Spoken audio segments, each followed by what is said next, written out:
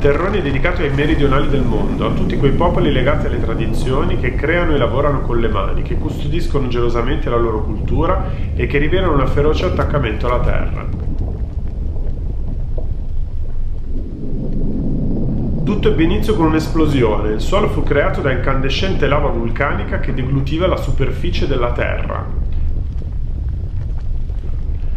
Terroni con le sue note intense attesta che le radici giocano un ruolo fondamentale nella crescita e nello sviluppo del carattere umano.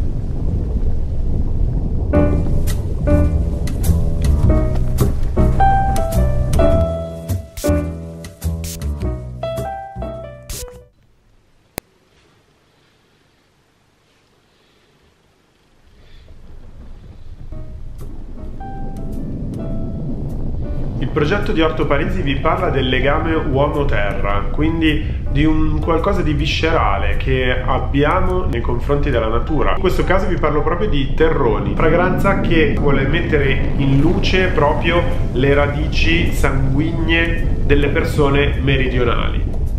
Tutto ebbe inizio con un'esplosione. Il suolo fu creato da incandescente lava vulcanica che deglutiva la superficie della Terra. Terroni è dedicato ai meridionali del mondo, a tutti quei popoli legati alle tradizioni che creano e lavorano con le mani, che custodiscono gelosamente la loro cultura e che rivelano un feroce attaccamento alla terra.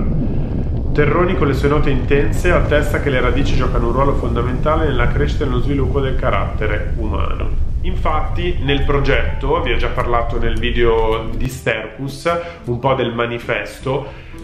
nella testa di Gualtieri c'è il fatto di spiegare attraverso le fragranze di mandare dei messaggi, ma in generale di spiegare come il nostro atteggiamento nei confronti degli odori possa cambiare, in quanto già cambiato. Sono proprio gli odori forti, gli odori che provengono dalle parti del corpo dove secondo lui eh, eh, risiede più l'anima, quindi dove secondo lui Mm, sta proprio la nostra parte quasi più istintuale, che è stata repressa dalle convenzioni sociali e che dobbiamo in qualche modo ritrovare, in prima battuta coltivando i nostri odori. Sicuramente è una bellissima un bellissimo manifesto, un bellissimo obiettivo e una bellissima visione nei confronti di un qualcosa che non è più solamente un vezzo, ma che sempre di più ci connota, cioè il fatto il nostro profumo, il nostro odore, il fatto di sapere di quello di cui vogliamo sapere e di essere, sentirci rappresentati da un qualcosa che effettivamente è nostro. Con Terroni che cosa parliamo? Parliamo di vetiver, già di per sé particolare, dalle note avvolgenti, dalle note eh, legnose, un po' verdi, un po' balsamiche anche e a tratti un pochino affumicate, unite a delle note ambrate, quindi a una dolcezza, che infatti è quello che colpisce all'inizio. Appena si vaporizza questa fragranza sulla pelle si percepisce proprio un grande avvolgente sentore sdolcinato. Vi dico la verità, a me dà anche un po' fastidio all'inizio perché io sono per le fragranze poco dolci di solito. Il fatto di parlare di odori forti, di odori del corpo, di odori inaccettabili è anche una sorta di contrasto che c'è tra questi odori, quanto possano essere sgradevoli, gli odori del nostro corpo a volte, ma quanto possa essere positiva la capacità di accettarli. Terroni però parla mette in scena diciamo questo tipo di, eh, di, fragranze e mette in scena questa idea di un approccio proprio eh, primordiale nei confronti della terra attraverso la lava quindi attraverso il vulcano in effetti il sud a vulcani famosi ancora attivi e quindi posso capire la simbologia fatta anche con la lava vedete il rosso della colorazione perché la lava è forse anche appunto l'atteggiamento sanguigno delle persone del sud che non dimenticano la propria terra eh, e che comunicano. Io sono mezzo del sud il mio compagno è del sud eh, quindi so che cosa vuol dire, anche se sono nato e cresciuto a Milano, però so che cosa vuol dire essere comunicativi, essere... Eh,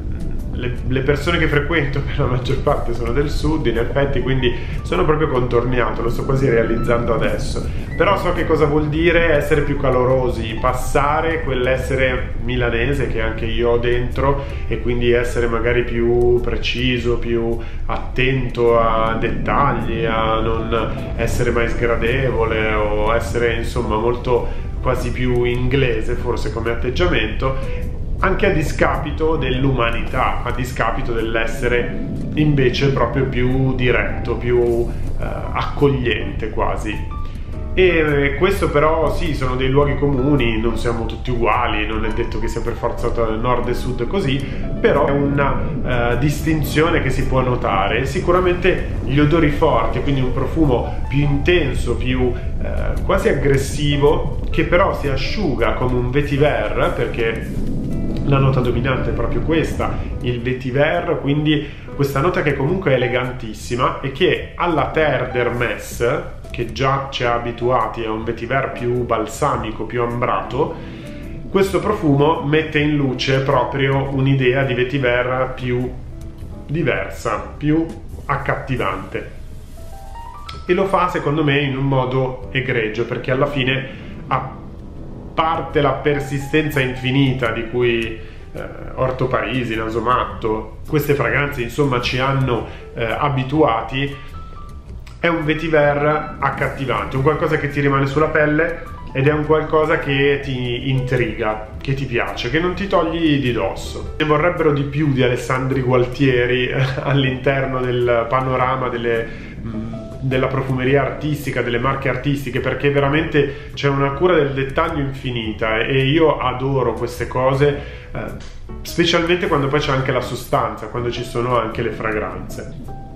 I terroni non sono quindi quello che potevate pensare quando avete letto il nome della fragranza. I terroni sono infatti coloro che hanno un legame con le proprie radici, con la terra, un qualcosa che permette di costruire e di portare avanti il proprio essere, la propria individualità in una maniera quasi più, più spessa, più accattivante. Al contrario di quanto potremmo pensare, quello di Terroni non è un viaggio nel cattivo gusto, ma anzi è un viaggio nell'eleganza attraverso questa fragranza che veramente sì unisce note grezze e mette in scena proprio il lato più ruvido del vetiver, però appunto come ho detto lo riscalda e lo rende avvolgente esattamente come le persone del sud sono attraverso delle note ambrate. Sapete che tutte le note olfattive non sono dichiarate, quindi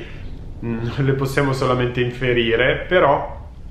quella diciamo quel quid della fragranza ambrata la si percepisce. La dolcezza, dicevo appunto, non essere eccessiva. Spero che la review vi sia piaciuta e di avervi incuriosito nella prova di questa fragranza. Fatemi sapere nello spazio sotto che cosa, mi, che cosa ne pensate con i commenti e se vi siete sentiti magari voi del sud insultati dal nome Terroni, se la fragranza l'avete provata e vi piace, se vi piace il lavoro di Alessandro Gualtieri oppure no, se siete contenti di indossare un qualche cosa di made in Italy e di così attento ai dettagli, lasciatemi sotto quello che pensate e vi ricordo di sottoscrivervi al canale se non l'avete già fatto, accendendo la campanellina per essere sempre informati su quando pubblico dei video, andare su Facebook e Instagram e soprattutto Twitter per cercare di stare sempre in contatto. Alla prossima recensione, ciao!